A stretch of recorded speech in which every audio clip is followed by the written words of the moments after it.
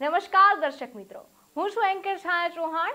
આજે આપણે BS nine TV ન્યૂઝમાં એક એવા ડૉક્ટર સાથે મુલાકાત કરવાના જઈ રહ્યા છીએ કે જેઓ આજના જમાનામાં ઘણા બધા પ્રશ્નો છે, શારીરિક જ નહીં, પરંતુ માનસિક અવસ્થાઓમાંથી આપણે ઘણીવાર પસાર થતા હોઈએ છીએ.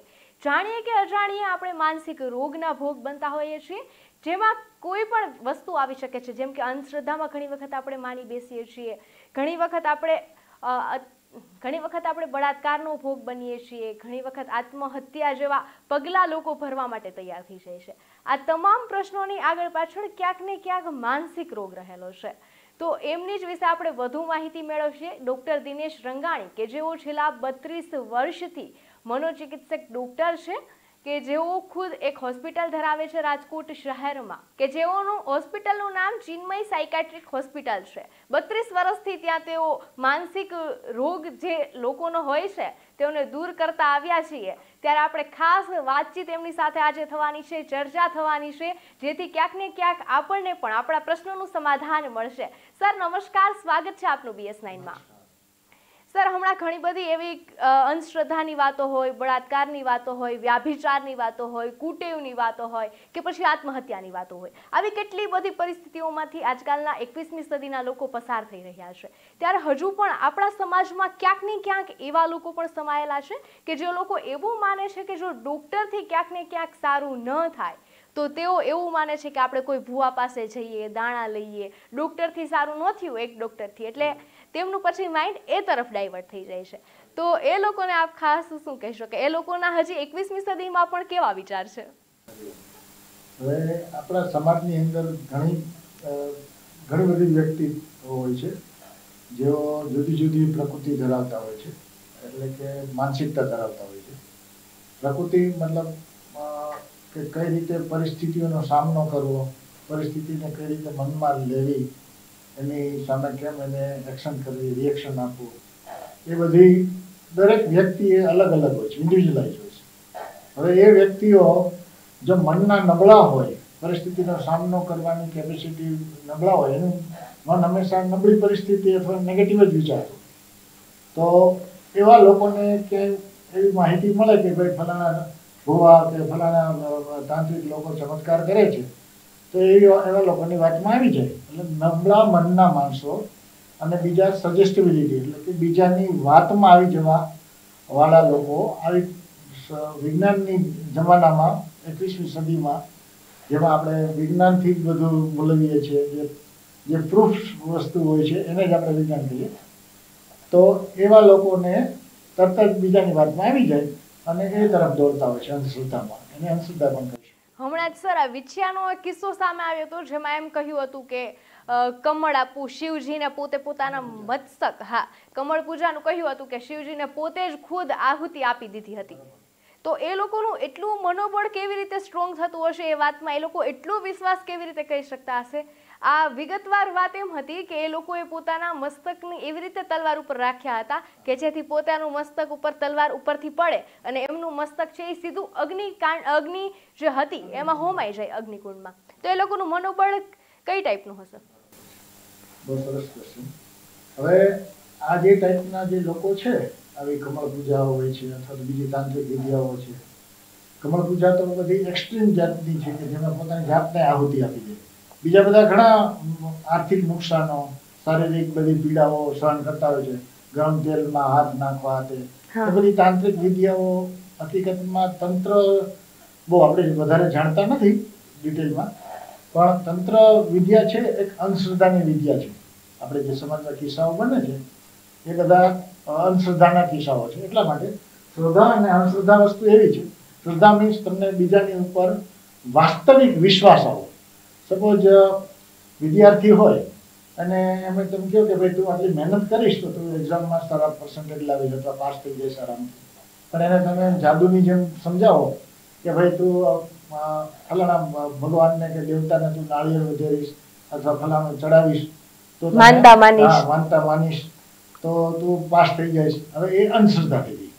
વાસ્તવિક વસ્તુ વાસ્તવિક પરિસ્થિતિને અથવા તો વાસ્તવિકતાની સાથે જોડાયેલી માન્યતાઓ એને આપણે શ્રદ્ધા કહી શકીએ. પણ જે જાદુઈ વસ્તુ છે જે વસ્તુ અશક્ય હોય છે જે સામાન્ય માનવીની સમજમાં ન આવે એને એને તમે અંધશ્રદ્ધા એનાથી એને એની ઉપર વિશ્વાસ રાખીને કરો. દેટ ઇઝ અંધવિશ્વાસ દેટ ઇઝ રિયલ અંધ કહેવાય ને? એક જાતની અંધતા કહેવાય. વાસ્તવિકતાથી પર બરાબર? એટલે વિશ્વાસ શ્રદ્ધા અને અશ્રદ્ધાનો ફક્ત વાસ્તવિકતાની સાથે જોડાયેલો.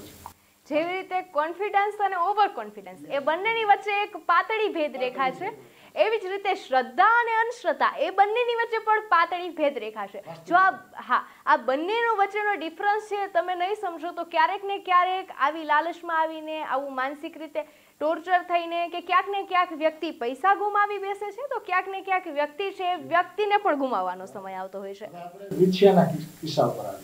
તો વિછિયાનો કિસ્સો છે આપણે બ્રેઇન વોશ તમે વાત સાંભળીએ છે હા હા. કે કોઈ પણ તાંત્રિક માણસ છે અથવા તો તાંત્રિક ભુવા હા, હા. જે આ ટાઈપની વિધિ કરતા હોય હવે એવી એવી વિધિ દરમિયાન જે વ્યક્તિને એના લાભો લેવા માટે આર્થિક લાભ અથવા તો એમ પણ બતાવવામાં આવે કે તમને તમારું કમળ પૂજા કરશો તમારો જીવ જશે બધાને ખબર જ હોય કે જીવ તો જવાનો છે કમળ પૂજામાં પણ એને એવી રીતે બ્રેઇન કરવામાં આવેલું હોય કે એના પછી તમે પાછા ફરીથી જીવતા થઈ જશો અથવા તો તમને આટલા આટલા લાભ મળશે આર્થિક, ફલાણા, બીજા જન્મોમાં તમે આટલું બધું તમે પામી શકશો. એ બધા એટલી હદે એટલે ઉનાળમાં એને ફિટ કરી દેવામાં આવ્યું, એના માનસિક મનમાં ફિટ કરી દેવામાં આવ્યું. કે પેલા લોકોને ખરેખર અંધતાથી જે કાંઈ જે વ્યક્તિ તાંત્રિક જે ગાઈડ કરે અથવા તો જે કાંઈ સૂચનો આપે એ પ્રમાણે જ વર્તે બરાબર? એટલે એ ખરેખર જે વ્યક્તિ છે, એ ખુદમાં ખામી એ છે કે એને બીજાની વાતમાં આવી જાય છે અને મનના નબળા છે. મનના જે પોતાનો સેલ્ફ કોન્ફિડન્સ વાત કરી સેલ્ફ કોન્ફિડન્સ જેનો નબળો છે, એ લોકો બીજાની આવી જાદુઈ વસ્તુમાં અથવા તો ચમત્કારિક વસ્તુમાં તાત્કાલિક આવી જાય, બરાબર? એટલે દોરવાય દોરવાઈ જાય. અને વિછિયાના કિસ્સામાં તો ઘણા વખતથી પૂજાઓની વિધિ ચાલતી હતી. એટલે એને કાંઈ ઠંડા કલેજે અથવા તો બહુ પ્લાનિંગ સાથેથી એને આ પેલી એક્શન કરેલી છે. તો એનો અર્થ એવો થયો કે એનું મન પહેલેથી જ નબળું છે. અને કાં તો એની વાઈફ જે હશે, એનું નબળું છે અથવા તો ભાઈનું નબળું છે મેજોરિટી ટાઈમ પુરુષનું નબળું હોય, એ જ વાઈફ એનું માનતી હોય. એટલે એને સેડ ડિલ્યુઝન પણ કહી શકાય. સેડ ડિલ્યુઝન મતલબ ખોટી માન્યતાને શેરિંગ કરતા હોય લોકો. અને એની વાઈફાઈ એના હસબન્ડની વાતમાં આવી ગઈ હોય. મેઇન વાતમાં આવી ગયા હોય તાંત્રિકના. આ તાજેતરની ઘટનાથી થોડીક પાછળ નજર કરું તો કેરળનો એક કિસ્સો હતો. એ ખૂબ પ્રચલિત થયો હતો. જગ્યા જગ્યા પર એની ચર્ચાઓ ચાલતી હતી. એમાં વાત એવી હતી કે એ લોકોને એવું ક્યાંકથી જાણવા મળ્યું હતું કે જે વ્યક્તિ છે એમની બલિ ચડાવવામાં આવે અને જેમની બલિ ચડી છે, એ વ્યક્તિનું પછી માંસ સંગ્રહ કરવામાં આવે અને એ માંસ જો માણસ ખાય તો પોતાની સુંદરતામાં વધારો થાય. આવી માનસિકતા આવી માનસિકતા સાથે તેમણે બલિ ચડાવી અને પછી એ માંસનો ઘણા દિવસો સુધી સંગ્રહ કરી રાખ્યો અને પછી એ માંસ ખાધું. એટલે મારી ભાષામાં તો આવા લોકોને હું પાગલ જ કહીશ પરંતુ એક મનોચિકિત્સક તરીકે તમે શું કહેશો? આપણી જ રેસિસ એટલે કે આપણા જ માણસો માણસનું માંસ ખાય સિંહ સિંહનું ખાય કૂતરો કૂતરાનું ખાય એને કેનેમલિઝમ કહેવાય. તમે વાત સાંભળી હશે એક જ જાતિના પ્રાણીનું માંસ ખાય એને કેનેમલિઝમ કહેવાય એ એક જાતનું પરવર્ઝન એટલે કે વિકૃતતા કહેવાય. એટલે આ બધી જે અંધશ્રદ્ધાઓની સાથે વિકૃતતાઓ ઘણા વ્યક્તિમાં હોય. એટલે આ બધી પ્રકૃતિ, આપણે વાત થઈ ને પહેલાં કે પ્રકૃતિના કારણોસર થાય તો ઘણા લોકોની પ્રકૃતિ એવી હોય સાયકોપેથિક એન્ટી સોશિયલ કહે એ લોકોની અંદર આવા બધા વિચારો બી હોય નેગેટિવ સાથે સાથે આવા માંસ ખાવાના વિચારો હોય. તો એવો બ્રેઇન વોશ કરી અને એને આવું સમજાવવામાં આવે. બરોબર? પેલાનો હેતુ ખાલી એનાબોલિઝમ કરવાનો હોય. જે તાંત્રિક છે, અથવા તો જેને સમજાવેલું છે, જે ઇન્ડલ્જ કરાવે છે, એને, એનો હેતુ માંસ ખાવાનો હોય અથવા બીજા એની પાસે પૈસા પડાવવાનો હોય. પણ સામેની જે જે વ્યક્તિ શિકાર છે, એને તો, એ તો આપણે વાત કરી ને કે ભાઈ નબળા મનનો અથવા તો જે બીજાની વાતમાં આવેલો સજેસ્ટેબિલિટી કહેવાય. દરેક વ્યક્તિ અમુક કાચા કાંડના કહીએ છીએ ને આપણે? દેટ ઇઝ કોલ્ડ સજેસ્ટિબિલિટી બીજાની વાતમાં તરત જ આવી જવું એમાં ખાસ કરીને જ્યારે મન ડિપ્રેશનમાં હોય ઉદાસીનમાં હોય ત્યારે તરત જ એ પકડી જાય તમે વાત કરી પહેલાં કે ભાઈ ઘણા દર્દીઓ છે એ તાવ આવ્યો હોય અથવા તો કોરોના હમણાં ગયો તો કોરોનામાં આ બધા લોકો બધા એમ થાય કે ડૉક્ટર પાસે જવું નથી પણ એને બદલે દે ગો ટુ તાંત્રિક ભુવા સમેરેજ છે. તો એ લોકોને એવું ફીલ થતું હોય કે આ આ ચમત્કારથી જલ્દી થઈ જશે. આપણી જાતે મહેનત કરવાની અથવા દવા ખાવાથી, પૈસા ખર્ચવાથી ટ્રીટમેન્ટ થશે નહીં. પણ એને જાદુ અસર જોઈએ છે. એટલે એવું વ્યક્તિત્વ હોય, એવી પ્રકૃતિ ધરાવતા હોય, એને તાત્કાલિક આવા લોકો શિકાર બનાવી શકે. સર ઘણીવાર એવું થતું હોય માણસને કે પોતે અશાંત રહેતો હોય, બેચેન હોય. આવા સમયમાં એમને એવું લાગતું હોય કે મારી પાસે અત્યારે કોઈ જ નથી. એવા સમયમાં જ્યારે પોતાના છે એ પોતાના ન લાગતા હોય. આવી પરિસ્થિતિમાંથી જ્યારે કોઈ યુવાન કે કોઈ વ્યક્તિ પસાર થતું હોય અને એમને બહારથી થોડીક લાગણી આપવામાં આવે, થોડોક પ્રેમ મળે કોઈ અન્ય વ્યક્તિ તરફથી કે જે પોતાના ઘરનું ન હોય, ત્યારે તે પોતાનું સર્વસ્વ એમને માની બેસે છે. અને એમના ઉપર આંધળો ભરોસો કરી બેસે છે. જેમનું વિપરીત પરિણામ ઘણી વખત આપણે જોતા હોઈએ છીએ કે પોતાની દીકરી સમાન સ્ત્રી કહેવાય, એમના ઉપર એ પુરુષે બળાત્કાર કર્યો. એમના કરતાં અડધી ઉંમરની સ્ત્રી ઉપર એમણે બળા- બળાત્કાર કરે છે.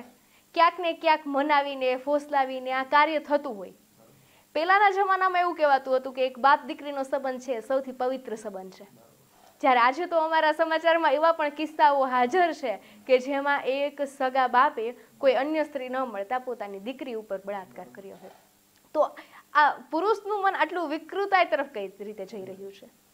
હવે અમુક ધર્મો છે દાખલા તરીકે સ્વામિનારાયણ છે ધર્મ એમાં શિક્ષાપત્રી આવે છે. પુરુષ ને સ્ત્રી જ્યારે એકાંતમાં હોય ને ત્યારે ભાઈ બહેન બાપ દીકરી એકાંતમાં નહીં રહેવું. કંટ્રોલ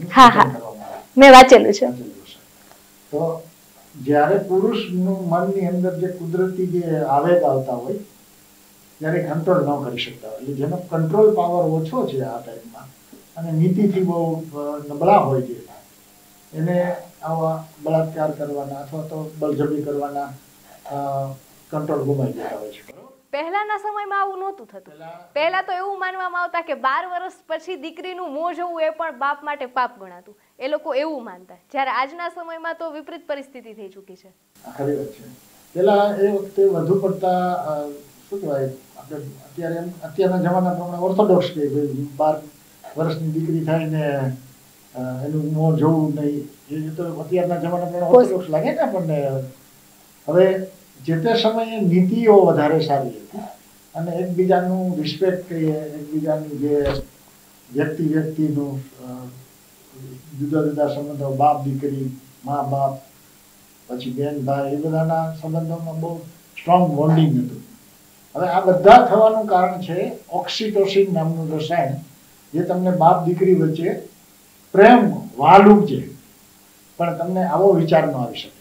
જે ઓક્સિટોસિન નામનો રસાયણ હોય છે, બ્રેનની અંદર પિચ્યુટરી ગ્લેન્ડ ને જે હાઇપોથેલેમસ થેલેમસ એની એક્સિસમાંથી નીકળે બરાબર છે? હવે એ રસાયણોની ખોટ થાય અથવા તો તમારા જે એગ્રેસિવ રસાયણો ડોપામાઇન સિરોટોનિન જ્યારે વધી જાય આનંદ એનો કંટ્રોલ જ્યારે ન કરી શકે વ્યક્તિ, ત્યારે આવા લોકો આવું, આવી એક્શન લઈ શકતા હોય. એને પરવર્ઝન અથવા તો આપણે વિકૃતતા કહી શકીએ. બરાબર? એટલે ખાલી યુવાન સ્ત્રી હોય તો જ એના ઉપર બળાત્કાર બીજી વાત કરું કે યુઝ્યુઅલી સમાજની અંદર થતા બળાત્કારના કિસ્સાઓમાં એટી ટુ નાઇન્ટી પર્સન્ટ કિસ્સાઓ જુદા જુદા ઓલ ઓવર ધ વર્લ્ડ આખી દુનિયાની અંદર નજીકના સંબંધી હોય તમારી સાથે રહેતા હોય સગા હોય પાડોશી હોય કામ જોઈન્ટમાં કરતા હોય એની એમાં જ થતા હોય છે. અજાણી સ્ત્રીઓ સાથે પેલું પેલું ન કરી શકાય હિંમત જ ન ચાલે બરાબર છે? એટલે અને એની વીકનેસ જાણતા હોય, ત્યારે એ લોકો એટેક કરતા હોય. અને આવા બચ્ચાઓને અથવા તો મોટી ઉંમરની સ્ત્રીઓ ઉપર જે વિકૃત માણસો બળાત્કાર કરે, એને ખબર હોય કે આમાં આપણે શું કહેવાય, વિરોધ નહીં કરી શકે. ડિફેન્સ નહીં કરી શકે, બરાબર? દેટ્સ વાય એ લોકો ઇઝી શિકાર બનાવતા હોય છે. પણ એલા માણસ છે એ લોકોને તો વિકૃત જ છે. એટલે ઘણી વખત એવા કિસ્સાઓ અમારી સામે આવતા હોય કે બે વર્ષની બાળકી છે ને એમના ઉપર બળાત્કાર કરવામાં આવ્યો. એ બાળકી કુમળું બાળક છે. એમને કંઈ ખબર નથી સમાજ વિશે પોતાને પોતાના વિશે ભાન નથી. એમના ઉપર બળાત્કાર કરે છે ને પોતાને હવસ છે એ છુપાવે છે. તો આવા હવસખોરો છે એ ક્યાંક ને ક્યાંક એવું માને છે કે પોતાનું જે જીવન છે એમાં જીવનમાંથી ટેન્શન દૂર કરવા માટે રિલેક્સ ફીલ કરવા માટે કાં તો વ્યાભિચારનો સહારો લે છે અથવા તો સિગરેટ પીવે છે, અથવા તો પોતે દારૂના રવાડે ચડે છે. આ ત્રણમાંથી અન્ય શું ઓપ્શન હોઈ શકે એ લોકો માટે રિલેક્સ થવા માટે, માનસિક રીતે? બરાબર. હવે હવે આજે લોકો આ ટાઈપની જે સામાજિક રીતે સ્વીકાર્ય ન હોય એવી બધી એક્ટિવિટી વ્યસન કરવો અથવા બળાત્કાર અથવા બીજા ઉપર જે પીડા પરપીડન વૃત્તિ રાખવી, એ બધી વ્યક્તિત્વની ખામીઓ કહેવાય. સામાન્ય રીતે આપણા બાળપણથી ઉછેરે મા બાપ સાથે. તો એના જે જીવનના મૂલ્યો, સામાજિક મૂલ્યો, નીતિના મૂલ્યો, એ જો વ્યવસ્થિત શીખેલા હોય, તો મા બાપ જ નાનપણથી એને જો સારી રીતે સમજાવે ભાઈ આ વસ્તુ આપણા માટે ખરાબ છે, આમાં આપણે કંટ્રોલ કરવો જરૂરી છે, તો આવા આવા બાળકો કે આવા વ્યક્તિ એનું ટૂંકમાં એવું વ્યક્તિત્વ ઘડાતું નથી. તો નેગેટિવ જે વ્યક્તિત્વ છે આ બધા, તમે જે વાત કરી એ રીતે એ નેગેટિવ વ્યક્તિત્વ એ બાળપણથી જ એવું છતું. હોય પેરેન્ટ્સ લોકો આજે આપણા સમાજની અંદર સારા સાધુઓ થાય છે. એવી રીતે સારા વૈજ્ઞાનિક થાય સાયન્સના હોય છે. એવી રીતે દરેક ફિલ્ડની અંદર સારા સારા વ્યક્તિત્વ જે પોતાની જાતને ન્યોછાવર કરીને આખી જિંદગી એકદમ આમ ટોપ લેવલ ઉપર પહોંચે છે. એવી જ રીતે અમુક ગુંડાઓ છે. બરાબર છે? ગુંડાઓ છે જે અસામાજિક પ્રવૃત્તિના જબરજસ્ત માસ્ટર ગણાતા હોય. ડોન ને ફલાણા તો એ લોકોને નાનપણથી જ એવી પરિસ્થિતિ બની હતી જેને એના તરફ જ ખેંચાઈ રાખતા એટલે એનું વ્યક્તિત્વ નેગેટિવ બનતું જતું હોય. જે સમાજ માટે અસહ્ય હોય, અસ્વીકાર્ય હોય, એવું વ્યક્તિત્વ બને. એટલે માણસ પેરેન્ટ્સ લોકોનું કાઉન્સેલિંગ અથવા પેરેન્ટ્સ લોકોએ જે તે સમયે છોકરાઓને, છોકરીઓને રોકવાની હોય, એ રોકવી જોઈએ અને ટોકવી જોઈએ. પણ આજકાલના બાળકોને રોકવાનું ને ટોકવાનું ક્યાં પસંદ પડે છે? પણ છતાં બી એ જ રસ્તો સાચો છે. રોકે ટોકે આના કારણે જ ઘણીવાર આજકાલના બાળકો સ્વતંત્રતામાં વધુ માને છે. એમાંથી જ ઉછ- થઈ શકે ને? પણ ઉછાંચળાની જે એક્સ્ટ્રીમ પરિસ્થિતિ છે એમાં આવા બધા ગુનાખોરીના પેલામાં જતા રહે છે. બરાબર? હમણાં બોર્ડની પરીક્ષા ગઈ તો રાજકોટમાં જ કિસ્સો હતો. તમને ખ્યાલ હશે. કે રાજકોટની વિદ્યાર્થીનીએ માથું દુખે છે એવું કારણ દર્શાવી સુસાઇડ નોટ લખી અને પોતે આપઘાત કરી લીધો. સુરતમાં પણ આવા કિસ્સાઓ બનતા રહે છે. બોર્ડની પરીક્ષા હોય ત્યારે આજકાલના વિદ્યાર્થીઓને કેવું છે કે તેઓ નિષ્ફળતા પચાવી નથી શકતા. અને ક્યાંક ને ક્યાંક મા બાપ દ્વારા કહેવામાં આવેલી સાચી વાતો પણ એમને ટોર્ચર જેવી લાગે છે. એટલે માનસિક રીતે નિષ્ફળતા પચાવવા માટે સક્ષમ નથી રહ્યો આજનો યુવાન.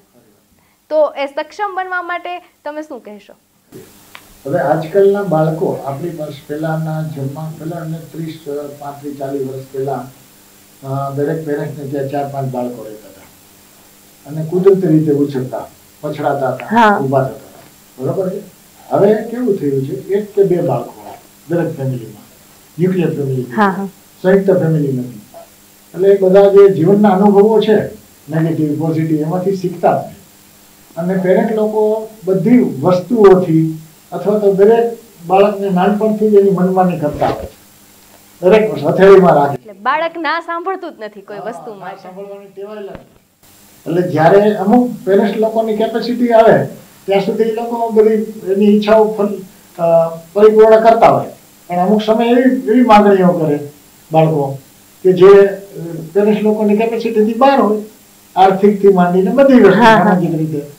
તો એ ટાઈમે બાળકો ફ્યુરિયસ થઈ જાય. મતલબ શું કહેવાય? અનકંટ્રોલ થઈ જાય. બરાબર? તો એ વખતે બાળકોની પરિસ્થિતિ આમ થતી હોય છે. હવે એના માટે બાળકોને નાનપણથી જ સારા મૂલ્યો, જીવનના મૂલ્યો આપણે પહેલાં વાત કરીએ એ પ્રમાણે. થોડી ધાર્મિકતા પણ જરૂરી છે. થોડો કંટ્રોલ આવે. સેલ્ફ કંટ્રોલ કહીએ ને આપણે? સંયમ. સંયમ પહેલાં સંયમ કહેતા હતા. એ કંટ્રોલ આવે.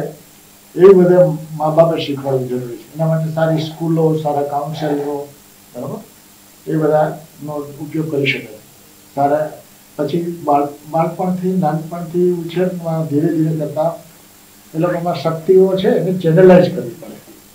જેથી કરીને ક્રિએટિવ એક્ટિવિટીમાં જોઈન થયેલા અને ક્રિએટિવ માઇન્ડ બને. આર્ટ એટલે એને જ ક્રિએશન ન કહેવાય. પણ જીવનની અંદર કોઈ પણ જીવનના સર્જનાત્મક એક્ટિવિટી કરે, એમાં આર્થિક પણ આવી શકે. કોઈ સ્કિલ શીખવાનું પણ આવી શકે રમતગમત પણ આવી શકે. એ બધી સર્જનાત્મક એક્ટિવિટી કહેવાય બરાબર? એટલે એને વાળવા પડે નાનપણથી. તો જ બાળકોનો પોઝિટિવ પર્સનાલિટી બને. આજે એકવીસમી સદી છે ફાઈવજી નેટવર્ક આવી ગયું. એટલે કનેક્ટ એકબીજાથી જલ્દીથી થઈ જાય છે. પણ છતાંય ક્યાંક ને ક્યાંક વ્યક્તિ લાગણીમાં કાચો પડે છે. એટલે માનસિક રીતે ભાંગી પડે છે. ક્યારેક એમને એટલું એકલું ફીલ થાય છે કે એમને આપઘાત સિવાય કંઈ સોલ્યુશન જ નથી લાગતું. એમની પાસે કેમ કે ભલે લાખો કરોડોમાં ફોલોવર્સ હોય ફ્રેન્ડ્સ હોય, આજુબાજુમાં રોજે મળતા હોય, છતાં એમની પાસે એકમાત્ર એવું વ્યક્તિ નથી કે જે પોતાની દુવિધા એમને કહી શકે. તો આવા વ્યક્તિને કોનો સહારો લેવો જોઈએ? આ લોકોને અત્યારે તો તમે કહો છો ને ભાઈ સોશિયલ મીડિયા ને આ બધું છે, તો ડિજિટલ સહારાથી પણ આનો બધા ઘણા કાઉન્સેલર છે. જેમાં ગવર્મેન્ટ પણ ચલાવે છે કાઉન્સેલિંગના ડિપાર્ટમેન્ટ પણ હોય છે. ઇવન પ્રાઇવેટ જે અમે પ્રેક્ટિસ કરીએ છીએ મને ચિકિત્સકો સાયકોલોજીસ્ટ એ લોકો પણ જ્યારે જ્યારે આવી પરિસ્થિતિ એક્ઝામ ટાઈમે કાઉન્સેલિંગ કરતા હોય છે ને ટોલ ફ્રી નંબર પણ આપતા હોય છે. એવાનો સહારો લઈ શકે છે. અને એવા વ્યક્તિઓ નજીકના કોઈ ગ્રુપ ફ્રેન્ડ અથવા કુટુંબી આપણા મા બાપ છે નજીકના, એને પોતાના સમજી અને એને જો પોતાની વાત શેર કરે, તો એ લોકો હળવા થઈ શકે, એનો ઉપાય બતાવી લઈ શકે. પણ જે લોકોને મન નબળું છે, એને એવા ઘણી ઘણી વખત એને જે તે સમયે આવેગમાં એને એવો વિચાર પણ નથી આવતો હું આનો સહારો લઉં. સપોઝ સમબડી બહુ નજીકમાં તમે બીજી વાતનું શેરિંગ કરતા હો, પણ આવા સમયે નબળી પળમાં એ લોકો બધું ભૂલી જતા હોય છે વેર ટુ ગો બરાબર? તો એવા ટાઈમે એ લોકો આપઘાત કરી દે છે. પણ સૌથી પહેલું કારણ આપઘાત થવાનું છે, કરવાનું છે એ લોકો મનના નબળા છે, પરિસ્થિતિઓનો સ્વીકાર કરી શકતા નથી. વાસ્તવિક પરિસ્થિતિના મહેનતને એ લોકો પ્રાઇમ વેલ્યુ ગણતા નથી અને સીધે સીધું બધું એને મેળવવું છે. વિધાઉટ પોતાનો કન્ટ્રીબ્યુશન કાંઈ નથી. મહેનત કરવાની તે બીજી, ત્રીજી, સમય, શક્તિ બધું આપવું પડે ને મહેનત દરેક વસ્તુમાં મેળવવા માટે સમય, શક્તિ બધું જરૂરી છે. ધૈર્ય ધૈર્ય નથી આજના યુવાનમાં તમે આટલા સમયથી આ કામ સાથે સંકળાયેલા છો, બત્રીસ વર્ષ થયા, તો કોઈ તમારો એવો હૃદયસ્પર્શી કિસ્સો કે જે ખાસ તમને યાદ રહ્યો હોય, કોઈ વ્યક્તિ માનસિક રીતે સાવ ભાંગી પડ્યો હોય અને એમાંથી બહાર આવ્યા હોય? હવે અમારે હું એક સાયકેટ્રિસ્ટ છું, એમાં અમારી પાસે તમે જે વાત કરો છો, એવા કિસ્સાઓ તો અનેક હોય છે. એ સાથેના દરેક કિસ્સામાં ડિપ્રેશન જે હોય, એમાં આવા લક્ષણો તમે જે વર્ણન કરો છો એકદમ પડી હોય, આપઘાતના વિચારો આવતા હોય, વારંવાર રડી પડતા હોય. રીઝન ન હોય છતાં એમનેમ ક્રાઇમ સ્પેસ એટલે આઉટબર્સ્ટ આવતા હોય, એક રડવાના ઉભરા આવતા હોય. બરોબર? હવે એવા કિસ્સા તો બહુ કોમન છે. ડિપ્રેશનનું પ્રમાણ અત્યારે દસથી પંદર ટકા છે. સો વ્યક્તિ તમે લ્યો, એમાંથી દસથી પંદર ટકાને ડિપ્રેશન આવી શકે. એવી અત્યારે કોમન છે. આપણે ઓલ ઓવર ધી વર્લ્ડમાં આ પરિસ્થિતિ છે. ડિપ્રેશન થવાના કારણો બધા જુદા જુદા સ્ટ્રેસ છે.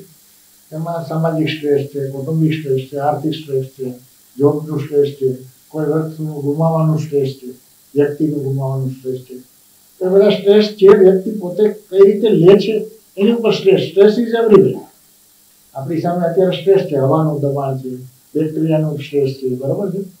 પણ એ સ્ટ્રેસ જો તમને, તમે એને લગાડતા નથી મનથી, શરીરથી, તો તમને કાંઈ અસર નહીં કરે તો એ તમને ટેન્શન ઇઝ એવરીવેર પણ સ્ટ્રેસ તમને અસર નહીં કરે તો જે વ્યક્તિ મનના નબળા છે, એવા લોકોને પહેલાં તો ઘરના સભ્યો કુટુંબી એને જાણી, સમજીને ભાઈ આ કામમાં પંદર દિવસથી, મહિનાથી કેમ આમ અલિપ્ત થઈ ગયો છે, કેમ આમ રડે રાખે છે? એની હાથ, ખભે હાથ રાખીને એને પૂછવું જોઈએ એ વ્યક્તિને, એના કુટુંબીએ મિત્રોએ. તો એનો વાત નીકળે તો પછી જો જો ખરેખર વધુ પડતું સમજાવટથી જો ન મટી શકે, તો એને મનોચિકિત્સક પાસે લઈ જવા જોઈએ, અથવા બીજા કાઉન્સિલર પાસે લઈ જવા જોઈએ. એ બધું આપણે સમાજમાં જ એવી વ્યવસ્થા હોવી જોઈએ. બરોબર? હવે જે કિસ્સાની તમે વાત કરી, એવા તો અનેક આના કિસ્સા હોય છે કે ડિપ્રેશનમાં બધા લક્ષણો, બધા મરવા સુધીના હોય છે. પછી ગાનપણના કિસ્સા હોય છે, પછી મેનિક એટલે ઉન્માદ, કે જેમાં વાસ્તવિકતા પરિસ્થિતિ અલગ હોય, પણ એને મોટા મોટા વિચારો આવે. જેને આપણે ઉન્માદ કહી શકીએ. અમારી સાયકોલોજી ભાષામાં મેનિયા કહેવામાં આવે. ઘણી વાર મેનિક ડિપ્રેશન ઘણીક વાર મેનિયાનો એટેક આવે અને ઘણીક વાર ડિપ્રેશનનો એટેક એવા પણ કિસ્સા હોય. એટલે મેનિયાના કિસ્સામાં કેવું થાય અને ડિપ્રેશનના કિસ્સામાં? કેવું થાય દુનિયાના કિસ્સામાં મોટા મોટા વિચારો. અવાસ્તવિક ખુશ રહેવું બળાશો મારવી ડંફાશો મારવી અને પરિસ્થિતિ નબળી હોવા છતાં એમ કે મારામાં તો આટલી શક્તિઓ છે, આટલી તાકાત છે, આટલી આટલી આર્થિક પરિસ્થિતિ છે. હું મર્સિડીઝ લઈશ, હું બીએમડબલ્યુ લઈશ, એની પાસે ફૂટી કોટી ન હોય ફૂટી કોટી મતલબ પાંચસો રૂપિયા હોય, એને એવી વાતો કરે. બરાબર? એને મેં, મેનિયા કહેવાય. અને એ લોકો ઊંઘે નહીં ખાય પીએ પોતાને ઊંઘની, ભૂખની પણ જરૂરિયાત ન હોય, એવી રીતે બતાવે. એની સામે ઓપોઝિટ ડિપ્રેશનના પેશન્ટની પાસે બધું હોય. ઘરમાં ગાડી હોય, બંગલા હોય, બધું ફેમિલી સારું હોય. છતાં બધી વસ્તુ નેગેટિવ લાગે. નેગેટિવ એબાઉટ સેલ્ફ પોતાની વિશે નેગેટિવ ભવિષ્ય વિશે નેગેટિવ અને વાસ્તવિકતામાં વાસ્તવિક પરિસ્થિતિ નેગેટિવ લાગે. એને ડિપ્રેશન કહેવાય. એ જો લાંબો સમય પંદર, વીસ દિવસથી વધારે દિવસ ચાલે, તો એને આપણે ડિપ્રેશન કહીએ આ સિવાય બધા એન્ઝાયટી રઘવાટ બેચેની, અકળામણ, ડર લાગવો ફોબિયા ઘણા લોકોને બંધ સ્પેસમાં ડર લાગે. બરાબર? ઘણાને લિફ્ટમાં ડર લાગે. તો એને ફોબિયા કહેવાય. ફોબિયા એટલે અવાસ્તવિક ડર, જે એક્સ્ટ્રીમ અવસ્થામાં હોય. સામાન્ય ડર તો આપણને કેમ સાપનો ડર લાગે? તો એ વાસ્તવિક ડર કહેવાય. કૂવા પાસે જે આપણે પડી જવાનો ડર લાગે દાખી ઇઝ એ વાસ્તવિક ડર કહેવાય. ત્યારે આ અવાસ્તવિક ને ફોબિયા ઘણા એને હાઇટનો ડર હોય, ઘણા એને પ્લેનનો ડર હોય, ઘણા એને જાજા માણસો ભેગા થાય ટોળાનો ડર હોય. સોશિયલ ફોબિયા સર, તમને આટલું ઊંડાણપૂર્વક નોલેજ છે, તો લોકો કાનના, નાકના, ગળાના અલગ અલગ ડોક્ટર હોય. તો તમે પહેલેથી જ વિચાર્યું હતું કે તમે મનોચિકિત્સક ડોક્ટર બનશો? મને, હું નાનો હતો ત્યારથી મને બધાનું એનાલિસિસ બધાના માઇન્ડનું અને એન્થ્રોપોલોજીકલ સ્ટડી પણ કહેવાય. અને this ઇવન પ્રાણીઓ, માણસો બધાનો એનાલિસિસ કરવાની ટેવ હતી. અને એમાં મને એક ડિટેક્ટિવ તરીકેની ખુશી મળતી હતી. તો હું એમબીબીએસના છેલ્લા વર્ષમાં હતો ત્યારે જ મેં નક્કી કરી દીધેલું કે હું એમ સાયકિયાટ્રીમાં જઈશ એમડી સાયકિયાટ્રી કરીશ. અને એનો મને સંતોષ છે. મારા લાઈફમાં મને મારા દરેક દર્દીઓ હું બહુ દિલથી કામ કરી અને એને મદદ કરી શકું છું બધાને બહાર કાઢી શકું છું. એટલે મને ખૂબ સંતોષ છે. એટલે તમે તમારું ગમતું ફિલ્ડ ચૂઝ કર્યું. પહેલેથી જ. પહેલા હું મારી બ્રાન્ચને પરણેલો છું. પછી હું મારી વાઈફને પરણેલો રાજકોટમાં તમારી હોસ્પિટલ છે ને તમે બત્રીસ વર્ષથી અહીંયા જ કામ કરો છો. તો ખાસ કરીને મને એવું માનવું છે કે આપણા ભારતના લોકોને ખાસ ગુજરાતને એમાંય સૌરાષ્ટ્રના લોકો એટલે આવી બધી વસ્તુમાં બહુ ઓછું માને છે. તો લોકોનો રિસ્પોન્સ કેવો રહ્યો છે? ઓછી છે બરોબર. માનસિક દર્દ વિશે અમુક સ્ટિગ્મા છે. સ્ટિગ્મા એટલે અમુક મિસબિલીફ કે ભાઈ માનસિક દર્દી મનની દર્દ હોય થાય. તો ડોક્ટર પાસે ન જવાય અને લબલ થઈ જાય સમાજમાં કે આપણે આમ ખરાબ માને છે ખરાબ. છે. મનનો માનસિક દર્દી છે સાયકો છે એવું બોલતા હોય. પણ એ એકચ્યુઅલી આપણા દેશમાં વધુ છે. આપણા દેશમાં થોડી ધાર્મિકતામાં અમુક રીત રિવાજોમાં અમુક શું કે એવી બિલીફ સિસ્ટમ આવી છે કે ભાઈ તમે ધર્મને જ તમે સાચું માનો. અને માનસિક વસ્તુ બીમારી હોવી જ ન જોઈએ. જેમ શરીરની બીમારી નથી માનતા લોકો. ઘણી બીમારીઓ એવી છે શરીરની જે મનને કારણે થાય છે. એ પણ આપણે ચર્ચા કરશું હમણાં. પણ જેમ એટલે આપણા સૌરાષ્ટ્ર ભારત ગુજરાત આપણે કહીએ તો અમુક ધર્મને લીધે પણ આપણી આવી બધી મિસબિલીફ અથવા ખોટી માન્યતામાં દોરવાતા હોય છે.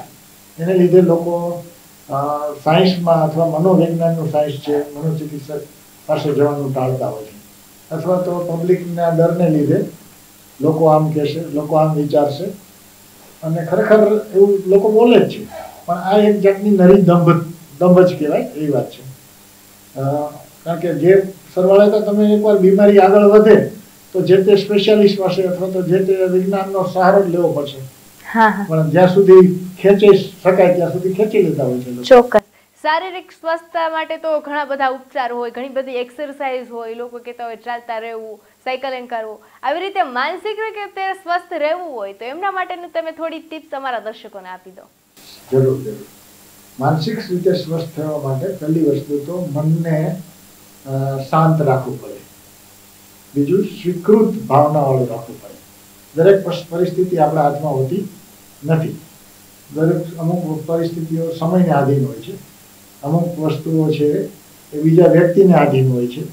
તો એના માટે આપણે ધીરજ રાખવી પડે, શાંતિ રાખવી પડે. અને જ્યાં સુધી પરિણામ ન આવે, ત્યાં સુધી તમારે એ પ્રોસેસમાં રહેવું પડે. બીજી વસ્તુ, મનને શરીર રાખવા મન એ આખા શરીરની સાથે જોડાયેલું. એટલે શરીર સ્વસ્થ હોય તો મન સ્વસ્થ હોય. મન સ્વસ્થ હોય તો શરીર સ્વસ્થ હોય. તો શરીરને સ્વસ્થ રાખવા માટે આપણે પૂરી એક્સરસાઇઝ કરવી પડે, સારો ખોરાક લેવો પડે પૂરી ઊંઘ લેવી પડે. એને બાયોલોજિકલ રિધમ કહેવાય બાયોલોજિકલ ક્લોક પણ કહેવાય. ટાઈમે સૂવું ટાઈમે જમવું ટાઈમે બધી આપણી વોઇડિંગ આદતો છે આપણે. ઝાડો પેશાબની આદતો એ પણ રેગ્યુલર લેવી જોઈએ. તો જ આપણું મન અને શરીર સ્વસ્થ રહે. બરાબર છે? સર, જેવી રીતે શારીરિક આપણે રોગ હોય કોઈ પણ, તો ઘણીવાર પગમાં ફ્રેક્ચર આવે, હાથમાં ફ્રેક્ચર આવે તાવ, શરદી, ઝાડા, ઉલટી એવું બધું થતું હોય, તો માનસિક રોગમાં કયા કયા પ્રકારના રોગ હોય છે? માનસિક રોગમાં આશરે ત્રણેક હજારથી પણ વધારે જાતના રોગો હોય છે જુદા જુદા એમાં મનોશારીરિક રોગો, જેમાં કારણ બનતું હોય, અને લક્ષણો અને ફરિયાદો બધી શરીરની હોય. એટલે શરીરના ડૉક્ટરો પાસે ફરે રિપોર્ટ્સ કરાવે, એમાં કાંઈ નીકળે નહીં, એની દવા કરે, દવાથી થોડું દબાય રાહત મળે લોકલ. પણ મૂળ કારણ જાય નહીં, એટલે બદનામ આવે. વર્ષો સુધી એવી રીતે ચાલી રાખે. અને એને લાંબી લાંબી જીવન એ પોતાની જીવનમાં શાંતિથી જીવી ન શકે, પોતાની જે ડ્યુટી કરવાની એ કરી ન શકે. એને એ મનોશારીરિક વિશે આપણે વાત કરીએ પહેલાં. બીજા લોકો વિશે આપણે પછી કરી દઈશું તો મનોશારીરિકમાં ઘણા લોકોને આઈબીએસ ઇરિટેબલ બોવેલ સિન્ડ્રોમ કહેવાય. દુખે છે પેટ, કૂટે છે માથું. એની જેવી વાત છે. પેટના જ લક્ષણો હોય ઝાડા થતા હોય ઉલટીઓ થતી હોય, પેટમાં ગેસ થતું હોય રોજગાર આવતા હોય. મોટે મોટે બિરાડો મળે એવી ઓડકાર આવે. પણ માટે નહીં, જુદી જુદી સારવારો થાય, જુદી જુદી રિપોર્ટ્સ કરાવે. એમાં કાંઈ નીકળે નહીં નોર્મલ બને. પછી સરવાળે એ લોકોને એ માર્ગદર્શન આપવામાં આવે કે ભાઈ તમે સાયકલ મનોચિકિત્સક પાસે જાઓ તો અમે એની પર્સનાલિટી એના વ્યક્તિત્વ વિશે જાણીએ. તો એ લોકો વધુ પડતા ચોકસાઈવાળા, વધુ પડતા સેન્સિટિવ પોતાની વાત બહાર ન કાઢી શકતા હોય, મનની વાત મૂંઝવણો. મૂંઝવણ વગરનો તો કોઈ વ્યક્તિ છે જ નહીં. તો એ વ્યક્તિઓ આવી શરીરના ધ્યાન ચોટી જાય. એને એને તકલીફ કહેવાય. અથવા તો સાયકોસોમેટિક પ્રોબ્લેમ કહેવાય. હવે એમાંની મનો સાયકોસોમેટિક પ્રોબ્લેમમાં માઇગ્રેન પણ આવે છે, પછી અમુક એલર્જી પણ આવે છે અસ્થમા પણ આવે છે, બરાબર? એવી રીતે લોંગ પેઇન હોય, જે ડોકનું હોય કેળનું હોય, અથવા તો જુદા જુદા એરિયાના શરીરમાં દુખાવો હોય પેઇન સિમ્ટમ્સ કહેવાય. ક્રોનિક પેઇન સિમ્ટમ્સ તો. એ લોકોને શરીરની બધી તપાસ કરતાં કાંઈ ન નીકળે. પણ સરવાળે સાયકિયાટ્રિક એનું એનાલિસિસ કરીએ, તો એમાં એની ખામીઓ હોય, એને મનોશારીરિક ખામીઓ હોય, એની સારવાર કરીએ એટલે ભેગું તરત રિઝલ્ટ આવી. આ સિવાયના રોગોમાં ડિપ્રેશન આપણે વાત કરી. ડિપ્રેશન હોય મેનિયા હોય ઉન્માદ હોય આ બધા રોગો થવાનું કારણ છે મનની વ્યક્તિત્વની લાક્ષણિકતાઓ. પણ વ્યક્તિત્વ લાક્ષણિકતા બ્રેનની અંદર અમુક ન્યુરોકેમિકલ હોય જે સિરોટોનિન એપિનેફ્રિન નોરેપિનેફ્રિન ડોપામાઇન ગામામાઇન બ્યુટેરિક એસિડ એ બધા રસાયણોની વધઘટ હોય બેલેન્સ બગડી જતું હોય. શરીરમાં દરેક વસ્તુનું બેલેન્સ જરૂરી છે. બીપી વધુય ન જોઈએ ઘટવું ન જોઈએ. એવી રીતે સુગર વધુય ન જોઈએ ઘટવું ન જોઈએ. સેમ વે બ્રેઇનના જે કેમિકલ છે બ્રેઇનના રસાયણો બ્રેઇનના ન્યુરો હોર્મોન્સ પણ કહેવાય એને, અંતસ્ત્રાવો. એનું બેલેન્સ કુદરતી હોવું જોઈએ, અમુક લેવલ સુધી રહેવું જોઈએ. થોડું ઘણું આગળ પાછળ ચાલે. પણ વધારે એકદમ વધી જાય અથવા વધારે ઘટી જાય, તો એ બધા આવા રોગો થતા હોય છે, બરાબર?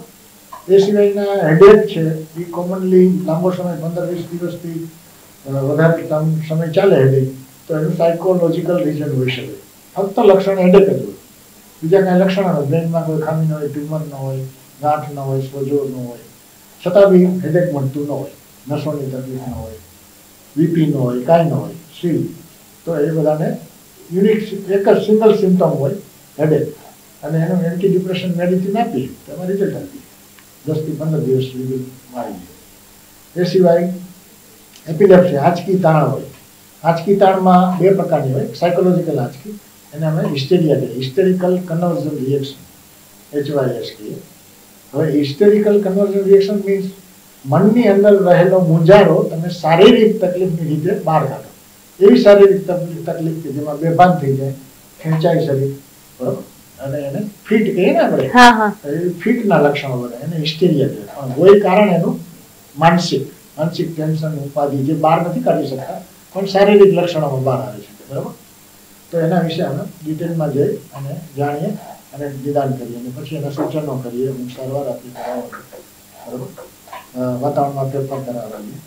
બીજું એપિલેપ્સી કન્વલ્ઝન ફીટ જે આંચકી તાણ જે બ્રેનના જ્ઞાન તંતુ છે આપણે જેમ વોલ્ટેજ કેમ વધી જાય. લાઇટ પંખા ટીવી ફ્રીજ ઉડી જાય. Similar બ્રેનનો current PTP post tetanic potential વધી જાય ત્યારે ત્યારે આપણને આંચકી આવે. તો એમાં એક હાથ ખેંચાતો હોય એક સાઈડ મોઢાને ખેંચાતું હોય ખેંચાતું હોય. ઘણી વાર આખું શરીર ખેંચાતું હોય આપણે આજકી તાણ વાય કહીએ છીએ ને વાય. ને વાયને આખું આખું શરીર મચકો થઈ જાય.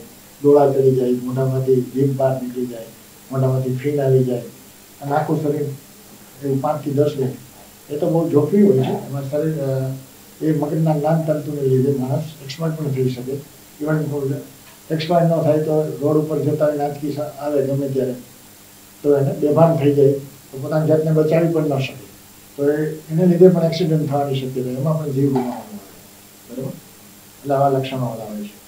બીજા જે મોટી ઉંમરના મોટી ઉંમરમાં હોય, એને ભૂલવાની તકલીફ હોય ડિમેન્શિયા કહેવાય, અલ્ઝાઇમર ડિઝીઝ એ લક્ષણો પણ એને ટ્રીટ કરતા હોય છે. સાઇક ન્યુરોસાઇકેટિક પ્રોબ્લેમ કહીએ પછી બાળપણના બધા બાળકો બાથરૂમ કરી જાય, તોફાન કરતા હોય ઇમ્પલ્સ કંટ્રોલ ન હોય એને. એ એ ટાઈપના કિસ્સા મનોચિકિત્સકો પાસે ઘણા આવતા હોય છે. પછી ડિલિવરી પછીના કેસો આવતા હોય છે. ડિલિવરી પછી ડિપ્રેશન આવે ડિલિવરી પછી સુસાઇડના વિચાર આવે પોતાને બાળકને કાળજી ન રહે પેટ ન ભરાવે એની ઉપર ગુસ્સો કરે એને પછાડે પણ એવા કિસ્સા પણ આપણે સાંભળીએ બરાબર?